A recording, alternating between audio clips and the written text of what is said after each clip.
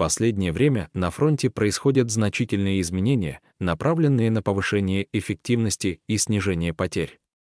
Трагедии, связанные с атаками без огневого прикрытия на северском направлении, не остались без внимания.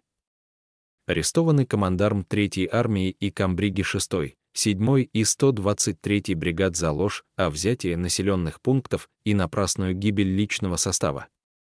Это стало началом серии арестов и изменений в командном составе. Министр обороны Белоусов решил не ограничиваться точечными воздействиями и отправил на фронт спецпредставителей. Военблогер Роман Алёхин отмечает, что их работа уже привела к изменениям и арестам командиров на северском направлении.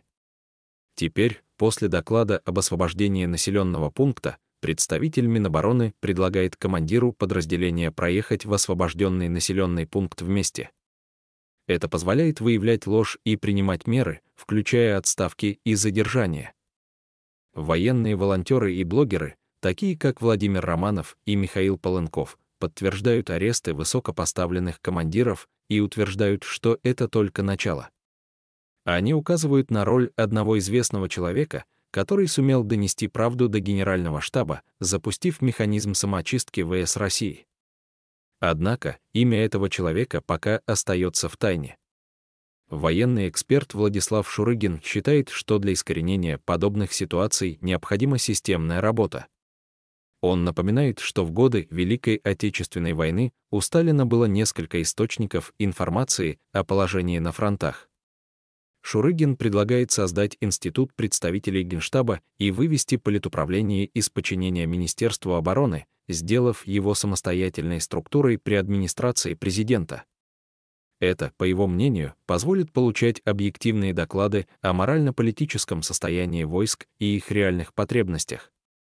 Таким образом, на фронте начинаются значительные изменения, направленные на повышение эффективности и снижение потерь. Остается надеяться, что эти меры приведут к положительным результатам и улучшению ситуации на линии фронта.